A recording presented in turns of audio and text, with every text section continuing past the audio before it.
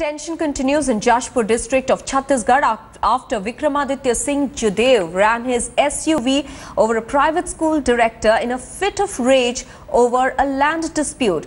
Vikramaditya is the younger brother of BJP MP Raja Ranvijay Singh Judeo belonging to the erstwhile royal family of Jashpur. Jashpur police have lodged an FIR on charges of attempt to murder against Vikramaditya who continues to be on the run. According to the police, the school director Brahmeshwar Gupta had bought a piece of land from Judeo family about 10 years ago and was planning to construct a school on that land. The police claims that while Gupta was inspecting the land, Vikramaditya approached him in his SUV accompanied with two others.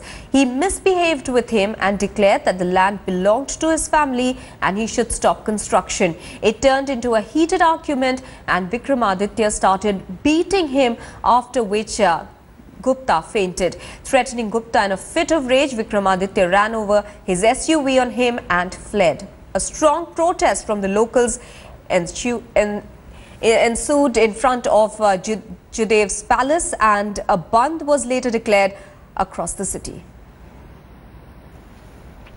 Right now we are at Jashpur Nagar in Chhattisgarh and this is the disputed plot of land because of which on Monday morning at around 9.30 from the Judeo royal family, Vikramaditya Singh, he came here along with his two associates and he thrashed the school director Brahmeshwar Gupta.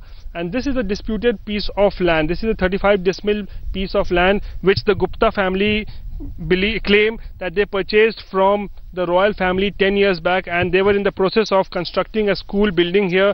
And Vikramaditya Singh was coming here often and he was asking the Gupta family to return this piece of land and because of which there was so much of dispute that was going on and on Monday morning Vikramaditya Singh along with his two associates he came here in his SUV Pajero uh, vehicle and the two of his associates they thrashed Brahmeshwar Gupta black and blue here and after that Vikramaditya Singh mowed down Brahmeshwar Gupta with his from his uh, Pajero vehicle and after that all the three escaped from this place. Well, the family of the uh, of uh, Brahmeshwar Gupta is absolutely shattered and in fact this is the very location where that uh, incident happened on Monday morning where Brahmeshwar Gupta was mowed down in the SUV of uh, Vikramaditya Singh and now the family members want justice. They want that all the three uh, accused in this case, Vikramaditya Singh and his two accomplices, all of them have escaped. They should be arrested and sent behind the bars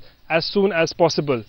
With camera person Deepak Kumar, this is Rohit Singh in district Jashpur, Chhattisgarh for headlines today.